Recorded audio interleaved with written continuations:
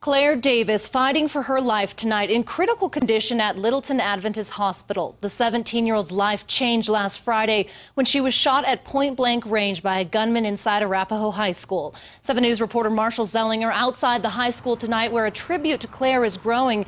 And Marshall, dozens also gathered earlier tonight for a vigil in her honor. The candlelight vigil ending around 7 p.m. tonight, but this vigil on the Arapahoe High School sign and also on the fence along University continues to grow tonight. Tonight's vigil was about Claire Davis, but also a chance for the Arapahoe High School community to come together once more before the holidays.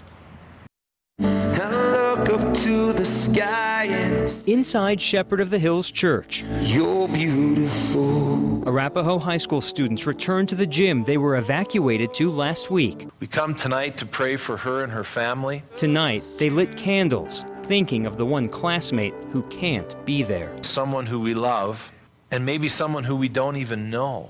Claire uh, is down at the hospital and she's still uh, fighting for her life. These candles, these tears, this get well sign for Claire Davis. I wanted to be here to really support Claire and what happened with her.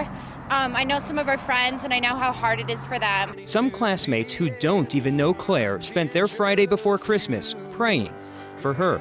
Getting gifts and all that isn't as important as all of us being together and healing. It's all about community tonight. I think it makes the Christmas spirit stronger because this is really what Christmas is all about caring for other people.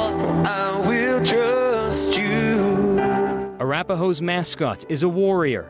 These students showing that strength, coming together, praying for Claire and each other. Father, when the doors of Arapahoe High School open, we pray, Lord, that we would take back that school. It's our school.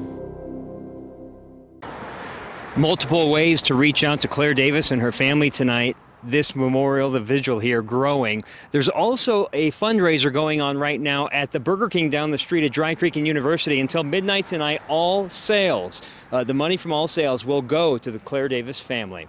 Reporting live at Arapahoe High School, Marshall Zelinger, 7 News.